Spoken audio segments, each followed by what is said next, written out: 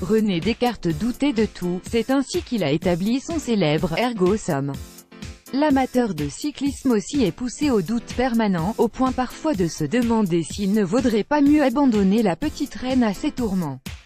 C'est aussi comme ça qu'il se révèle véritablement passionné, malgré le dopage et la triche, les palmarès révisés et même amputés, les petites et grandes polémiques, l'amoureux de bicyclette ne se détourne pas. Il reste fidèle à ce sport, cruel, parfois franchement dégueulasse, mais si profondément humain, et donc d'une beauté unique. Jusqu'au jour où la coupe devient pleine, remplie cette fois par des moteurs très discrets mais trop encombrants le problème du dernier vice trouvé au forçat de la route, c'est qu'il ôte une part de cette humanité au forçat de la route. Un moteur dans le vélo? Une force mécanique pour se substituer à la force du jarret, ce jarret fut-il irrigué par des additifs chimiques? Assassin, à en entendre.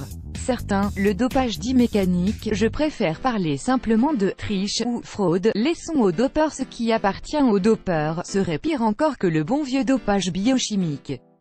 Les Cassandres du vélo nous le répètent depuis quelques années et l'émergence de cette problématique, le jour où ça sortira vraiment, où l'on comprendra à quel point les moteurs ont faussé la course, et les squelettes ainsi déterrés entreront le cyclisme pour toujours. Plus encore que lorsque les guignols ressuscitaient Fausto Coppi pour lui faire tirer une caravane dans l'ascension du Tourmalet. Une lutte anti-triche mécanique, quelle lutte, ces Cassandres m'excuseront, mais elles ne savent pas plus que moi à quel point les moteurs à vélo sont répandus dans les pelotons, certainement plus que ce que les contrôles ont montré. Et j'ai du mal à établir une hiérarchie de la triche, ce sont souvent les mêmes qui, tout en vilipendant la génération EPO, viennent minimiser le « dopage à la papa » qui avait cours auparavant. Qu'on parle de « vitamine » du vieil Edgar, le surnom de l'EPO dans les pelotons des années 90, ou d'un moteur, le résultat est le même pour l'athlète honnête, il se fait salement avoir. Sur le dopage au moins, je sais à quoi m'en tenir. Les autorités du cyclisme, accompagnées par l'Agence mondiale antidopage et les nombreux acteurs de cette lutte, ont largement progressé ces dernières années pour limiter l'influence des tricheurs mais il reste des failles à exploiter, et elles le sont. Les vélos à moteur, eux, reviennent régulièrement dans le débat depuis le Tour des Flandres du soupçon écrasé par Fabian Cancellara en 2010. La réponse s'est incarnée dans les tablettes magnétiques, que les commissaires agitent autour des montures des concurrents, même les principaux intéressés ne sont pas convaincus. Si on veut vraiment trouver les moteurs, on peut, il faut simplement ne pas avoir peur de tout inspecter et démonter à l'arrivée, tranchait récemment un de ses commissaires de l'UCI lors d'une conversation avec d'anciens coureurs convaincus que les vélos à moteur ont bien pénétré les pelotons. Montrer que l'UCI fait finalement son job, il fallait que l'Union cycliste internationale mette les bouchées doubles sur ce dossier, reconnaît le nouveau grand ordonnateur du cyclisme mondial, David Lapartient. Président de l'UCI depuis l'automne, le Breton a notamment fait campagne sur la question de la fraude mécanique, un des nombreux dossiers dans lesquels son prédécesseur Brian Cookson n'a pas répondu aux attentes.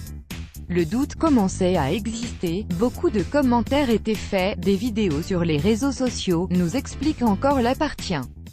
Mon objectif est de tordre le cou à tout ça et montrer que l'UCI fait finalement son job qui est de garantir la crédibilité du résultat sportif. À son arrivée, il a donc écarté celui qui gérait ce dossier jusqu'alors pour installer un homme à la double casquette d'ingénieur et d'ancien coureur, Jean-Christophe Perrault.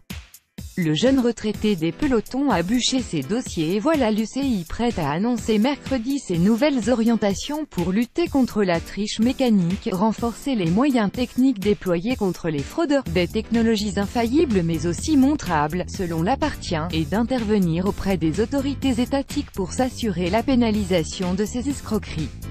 Cancellara et les fantômes du passé pour David l'appartient, il s'agit ainsi de démontrer par AB qu'il n'y a pas de fraude technologique ou que ce que nous mettons en place est suffisamment dissuasif pour qu'il n'y en ait pas. Cela participera à atténuer le doute sur les épreuves à venir. Mais quid des soupçons qui pèsent déjà sur les épreuves passées? Rien n'est engagé mais des enquêtes pourront être ouvertes si, des indications, des éléments de preuve ou des faits nouveaux qui devaient nous être apportés, explique le président de l'UCI. Mais là où l'ADN et les prélèvements sanguins ou urinaires sont conservés, personne ne retrouvera le vélo dont un tricheur se sera débarrassé. Pendant ce temps, le doute prospère, les accusations fleurissent. Au détour de son autobiographie de coureur, Phil Gaimon allume Cancellara, cet enculé avait probablement un moteur, astérisque. Ces dernières semaines, on m'a évidemment parlé du Suisse beaucoup trop fort dans le mur de Grammont, d'un Américain qui produisait trop de watts pour que ce soit vrai, même en prenant en compte son dopage à l'arme lourde, d'un autre vainqueur de l'Alpe d'Huez à l'époque moderne, de différents